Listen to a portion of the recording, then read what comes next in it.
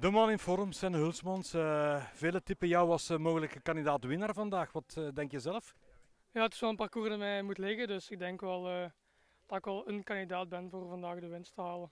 Wordt het een groepsprint vandaag of groepje apart? Um, dat betwijfel ik. Ik denk dat er misschien wel eens een groepje kan wegrijden. Want er ook al veel zijn die gisteren gekoerst hebben. Dus misschien dat er bij verschillende renners de vermoeidheid erin gaat zitten. Dus valt af te wachten hoe hard de koers gaat zijn vandaag. Parcours misschien niet selectief genoeg, niet zwaar genoeg of uh, vergis ik mij?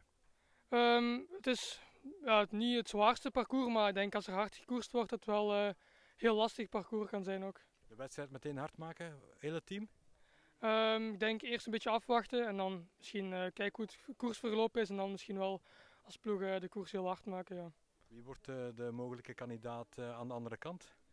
Um, ja, Senne Willems is heel sterk, uh, Zenomone, Alex Segaard, uh, allemaal heel sterke renners, dus ja, we zullen zien. Gisteren gereden? Ja, gisteren gewonnen. Ik dacht het, ja. ja.